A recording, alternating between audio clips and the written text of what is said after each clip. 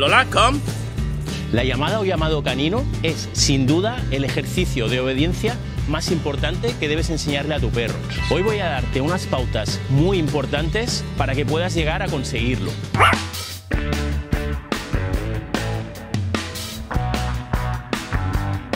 Hola, soy Manuel de Canine Service Barcelona y te doy la bienvenida a un nuevo vídeo. Suscríbete a mi canal para aprender a entrenar a tu perro de manera fácil, rápida y efectiva. Abajo en la descripción te dejo acceso a mis redes sociales y a otra información que puede resultar de interés. Vamos con el vídeo. Hoy vamos a revisar los capítulos más importantes de mi ebook Enséñale a ir suelto y acudir siempre a tu llamada. En él te explico con detalle todas las técnicas y procedimientos que he utilizado para enseñarle a venir a mi perra Lola. Además, vamos a sortear tres ejemplares del ebook. Al final del vídeo te explico qué tienes que hacer para participar en el sorteo.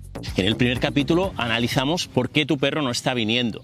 Cualquier perro sabe venir y sabe acudir a la llamada. Si no lo está haciendo es porque seguramente hay algo en vuestra relación que está entorpeciendo el hecho de que acuda a tu llamada. Posiblemente tienes un perro hiperactivo que cuando lo sueltas tienes sensación de haber perdido el control totalmente y finalmente has decidido no soltarlo. A lo mejor es que eres un estímulo muy aburrido para tu perro y se centra en otros muchos estímulos que hay a su alrededor. Posiblemente también estás utilizando en tu contra tu lenguaje no verbal y algunos aspectos paraverbales. A lo largo del vídeo vamos a desgranar estos aspectos para que puedas aprender a utilizarlos a tu favor. En este capítulo lo que quiero que entiendas es que el hecho de venir es como un síntoma de algo que está sucediendo y tienes que tratar, sobre todo tienes que detectar qué es eso que está manteniendo el hecho de no venir para mejorarlo y provocar que tu perro quiera venir, quiera estar pendiente de ti durante los paseos por naturaleza, por actitud natural. Siguiente capítulo. Abstracción del entorno. Mi humano es el centro de mi atención. En este capítulo te explico cómo tienes que comportarte y cómo tienes que interaccionar con tu perro para volverte un estímulo muy interesante para él y para que realmente él quiera estar pendiente de ti, preocuparse hacia dónde vas y querer interaccionar constantemente cuando estás solo. Por ejemplo, una cosa muy importante es que desarrolléis la capacidad y la habilidad de comunicaros en presencia de estímulos distractores muy fuertes, por ejemplo, cuando hay varios perros alrededor. Claro, tú quieres que tu perro te escuche y acuda a tu llamada o a tu llamado cuando hay perros y lo llamas, cuando se está relacionando con otros perros. Para esto tienes que poder captar su atención cuando estás cerca de él con otros perros. Por ejemplo, te propongo un ejercicio. Cuando llegues al sitio donde quieres soltarlo para que se relacione con otros perros, intenta interaccionar con él, captar su atención antes de soltarlo. Si sabe hacer alguna habilidad como darte la pata, sentarse, tumbarse, cualquier cosa, pídesela, premialo y después suéltalo. Lola, De esta manera estás desarrollando el músculo de comunicaros entre los dos en presencia de otros perros. Esto sería un paso importante antes de pretender que tu perro acuda a tu llamada cuando está muy distraído con otros perros. Siguiente capítulo, importantísimo. Tu lenguaje no verbal y la regulación emocional. Claro, tu lenguaje no verbal dice muchísimo más que tus palabras. Por ejemplo, ¿qué significado tiene que yo llame a mi perra Lola, le diga, Lola ven y vaya a buscarla? Pues bueno, cuando lo haya repetido varias veces, lo que va a aprender la perra es que eso significa que yo la voy a perseguir a ella. En pocas repeticiones me puedo encontrar que cuando digo Lola ven, mi perra sale disparada en vez de venir hacia mí, que es precisamente todo lo contrario de lo que pretendo. ¿Por qué no pruebas lo siguiente? Cuando tu perra te esté mirando o tu perro te esté mirando, empieza a correr sin llamarlo. Verás cómo automáticamente te va a seguir. Ahí puedes aprovechar para poner el comando de ven aquí, que asocie el hecho de venir con el movimiento de ir hacia ti. Esto es importantísimo. Otro aspecto muy importante que se suele utilizar con frecuencia bastante mal es el tema del el tono de voz. Claro, si llamas a tu perro de mal humor, pues es muy probable que le cueste mucho venir.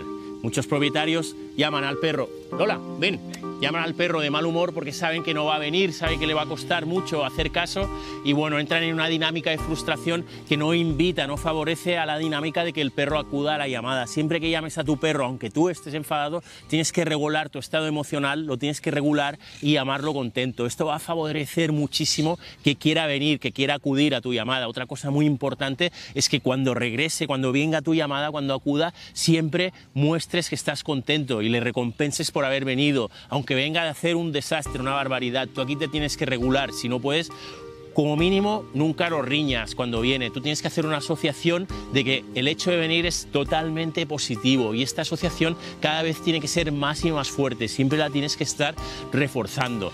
Otro aspecto de tu lenguaje no verbal, por ejemplo, puede ser que te agaches. Ya verás que si el perro te está viendo y te agachas, sin llamarlo también automáticamente va a venir. Déjame abajo en comentarios cuáles son los motivos por los que crees que tu perro no está acudiendo a la llamada como debería. Siguiente capítulo, material y maneras de motivar al perro. Para trabajar vas a necesitar una cuerda de entre 5 y 10 metros de largo, algunos juguetes que le gusten, dependiendo de la raza de tu perro o de sus preferencias. Estos juguetes pueden ser una pelota, un mordedor o cualquier otra cosa que le motive. Y comida. También vamos a hablar de cómo has de utilizar la comida, los premios de comida, cómo han de ser y cómo utilizarlos para que la llamada no dependa únicamente de los premios que le vas a dar. Esto es muy importante. Lo que quiero es que tu perro aprenda a venir por la motivación que le representa el hecho de venir, de acudir a ti, no por lo que tú le das o por lo que tú haces. Claro, esto se llama motivación intrínseca y es la motivación que nace de dentro del perro o de dentro de la persona, ¿vale? Por la satisfacción que siente por realizar algo. Si yo, por ejemplo, estoy estudiando estudiando en la universidad porque me motiva muchísimo sacar buenas notas y porque sé que esto me va pues a, a comportar unos beneficios en mi futuro y, y bueno, pues el, el, el, sacar buenas notas me gusta, esto es un motivador muy potente, mucho más potente que un motivador que dependa de factores externos a mí, como por ejemplo que mi padre me regale un BMW porque saco buenas notas. Esto es un motivador que aunque te cueste creerlo es mucho menos poderoso, es mucho menos potente. Con el perro pasa exactamente lo mismo, lo que nos interesa es que tu perro venga porque se siente bien interaccionando contigo por la satisfacción de realizar esa interacción. Esto es el tipo de motivador más poderoso que puedes encontrar, la motivación intrínseca. Fíjate que hasta ahora prácticamente no hemos hablado de poner un comando de ven aquí ni nada parecido, pero te aseguro que si pones en práctica todas estas técnicas vas a notar una mejora muy importante en cuanto a la atención que muestra tu perro sobre ti cuando está suelto y también a las ganas de venir que, que tiene cuando lo llamas. De todas maneras, en el ebook te explico de manera muy detallada, te doy una estructura con días de entreno, números de repeticiones en cuanto a los ejercicios para que consigas que tu perro interiorice una respuesta muy firme al comando de ven aquí o al comando que tú le quieras poner.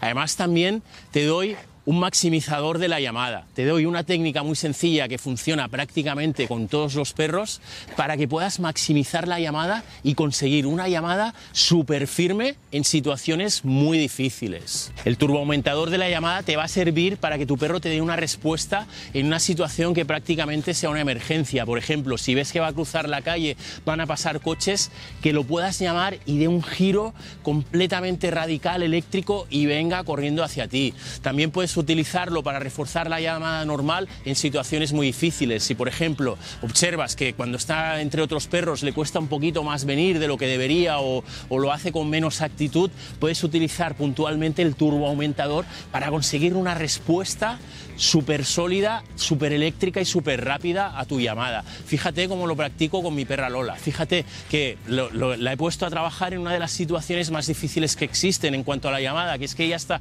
persiguiendo a un perro a toda pastilla, da, dando todo lo que puede dar para perseguir a ese perro y cuando yo la llamo, Lola, com. para en seco, da media vuelta y viene corriendo hacia mí, ¿vale? Esto es el ejemplo más claro de cómo funciona el turboaumentador de la llamada.